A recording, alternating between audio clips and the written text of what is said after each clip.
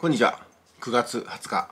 3時36分のツイッターのトレンドですよね。今日もトレンドから話題をお届けしますけども、なんと今ね、下ネタ NG っていうキーワードが上がってきてるんですよ。で、それを別に私、ハッシュタグさらって、どんな内容かって見ることはないんですけども、もうこれだけでね、十分かなと思います。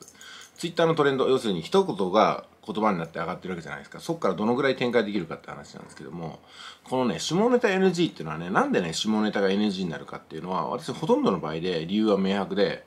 下ネタ自体が NG、もう下ネタやめてっていうことじゃないんですよ。お下劣だからやめてってことじゃないんですよ。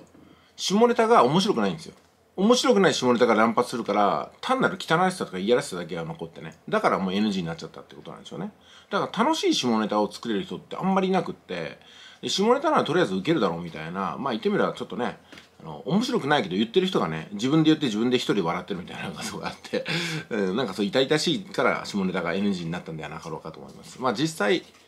ツイッターのトレンドをこうねタイムラインあさってみるとどんなことが出るのか分かりませんけども、うん、まあね確かにね子供の頃はねなんかいろいろ言うもんですよね、うん、だんだんだんだんこう、うん、なんか言わなくなってくるっていうかね別の話題の方が楽しめるようになってきたりとか。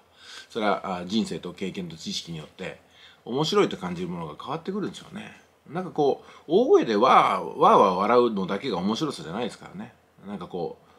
う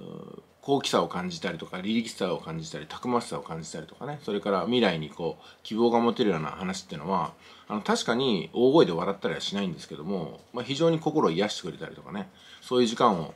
人はだんだん楽しいと感じるようになるのかなと。海外は音楽に耳を閉じて目を閉じて鑑賞するのもそういった楽しさなのかもしれないですね。下ネタ NG それは私はおそらくね下ネタやめてって話じゃなくてつまんねえ下ネタばっかりだからもういっそ謹慎しようぜみたいなことになってるんじゃないかなと思うんですよね。